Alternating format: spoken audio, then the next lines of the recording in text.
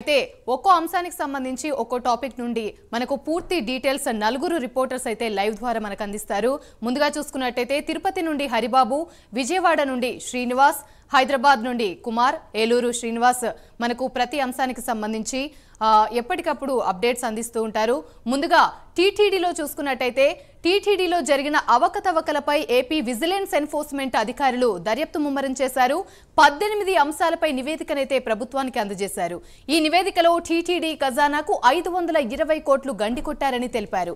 TTD engineering పనులకు అడ్డగోలుగా నిధులు కేటాయించారని వీఐపీ బ్రేక్ దర్శనాల విషయంలో కూడా అవకతవకలు జరిగాయని గుర్తించారు.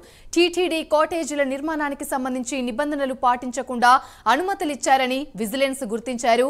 అలాగే శ్రీవాణి ట్రస్ట్ నిధులను కూడా అక్రమంగా మళ్ళించారన్నారు. గత శనివారమే ఏపీ ప్రభుత్వానికి నివేదిక అందజేశారు. ఇదే అంశానికి సంబంధించి మరిన్ని వివరాలు హరిబాబు అందిస్తారు తిరుపతి నుండి. హరిబాబు చెప్పండి. యామిని ఏదైతే టీటీడీకి సంబంధించి గత వైకాపా ప్రభుత్వం టీటీడీని సొంత ఆదాయ వనరుగా మార్చుకుందనే చెప్పాలి. ఎందుకంటే టీటీడీలో ఎక్కడ- ఏ విభాగంలో చూసినా అవినీతి అక్రమాలకి పాల్పడిన ఘనత మాత్రం వైఎస్ఆర్సీపీ పార్టీకే దక్కిందని చెప్పాలి. ఈ ప్రభుత్వం అధికారంలోకి వచ్చిన తర్వాత మొట్టమొదటిసారిగా టీటీడీ బార్డ్ హాస్పిటల్ మీదనే కన్ను వేసిందని చెప్పాలి. బార్డ్ హాస్పిటల్ని ప్రారంభించింది ఎన్టీఆర్ అయినప్పటికీ దాన్ని విస్తరించి దాన్ని పరిధి పెంచింది మాత్రం చంద్రబాబు నాయుడు. ఆ తర్వాత అక్కడ వైద్య సేవలు అందించిన డాక్టర్ జగదీశ్వర్ జగదీశ్వర నాయుడు వచ్చేసి దాని సేవలను దేశవ్యాప్తం అన్ని రాష్ట్రాలకు విస్తరించిన ఘనత దక్కింది. కేవలం ఆ హాస్పిటల్ ఉంటే కేవలం కమ్మ సామాజిక వర్గానికే పేరు వస్తుందన్న కారణంతో అక్కడ నుంచి మొదలుపెట్టిన విధ్వంసం అనేది దశల వారీగా అన్ని విభాగాలకి తీసుకెళ్ళారనే చెప్పాలి. ఎందుకంటే ఆదికేశవ నాయుడు తన సొంత నిధులతోటి ఏర్పాటు చేసినటువంటి శ్రీనివాస శంకర్ నేత్రాలయం కూడా ఏ అంటే కంటి విభాగానికి సంబంధించి శస్త్రచికిత్సలు పూర్తిగా చేసి ఈ ఆసుపత్రిని కూడా టీటీడీ సిమ్స్లో మెర్జీ చేసిన ఘనత కూడా వైసీపీకి దక్కుతుంది.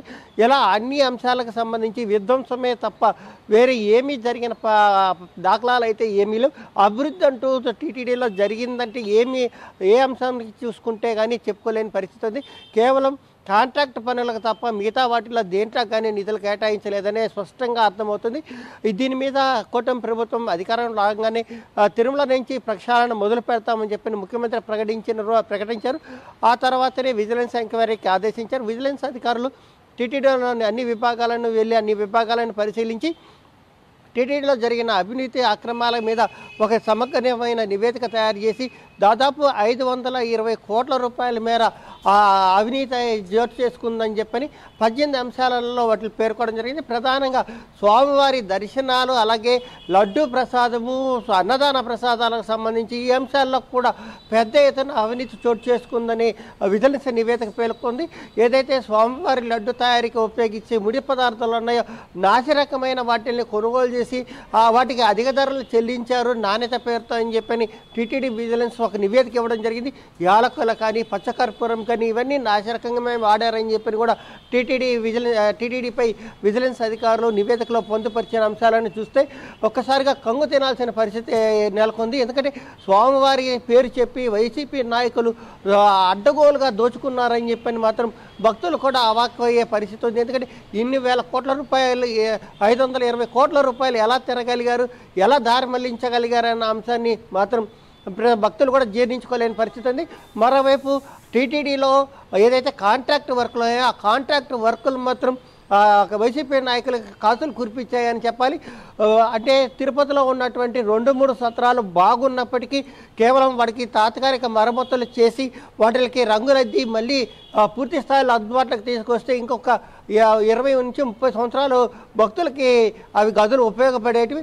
అయితే వీటిని మాత్రం ఏం చేశారంటే అర్ధాంతరంగా కూల్చి అవేసి అక్కడ మల్టీ స్టోరేడ్ బిల్డింగ్ కట్టాలి మల్టీ కాంప్లెక్స్ కట్టాలన్న అత్యుత్సాహంతో దాదాపు నిధులన్నింటినీ దానికి దారి మళ్ళీ ఇచ్చేసి ఆ బిల్డింగ్ పేరుతోటి కమిషన్ల పేరుతోటి అధిక ఏదైతే వైసీపీ నాయకులు పెద్ద ఎత్తున దోచుకున్నారన్న ఆరోపణలు కూడా పెద్ద ఎత్తున వినిపిస్తున్నాయి. ఇదే నేపథ్యంలో తిరుపతి నగరంలో వేసిన కొన్ని రోడ్లకు కూడా టీటీడీ నిధులను సమకూర్చి టీటీడీ నిధులతోటి వేశారని చెప్పని ఒక. వాదన అయితే బలంగా వినిపిస్తు- వినిపిస్తోంది. దీనిపై కూటమి పార్టీ నేతలు కూడా ఆరోపణలు చేస్తున్నారు. ప్రభుత్వం మాత్రం ఈ అంశాన్ని సీరియస్గా తీసుకుని విచారణ చేస్తే మరింత మరిన్ని అంశాలు వెలుగులోకి వచ్చే అవకాశాలు ఉన్నాయి ఆమెని రైట్ థ్యాంక్ యూ హరిబాబు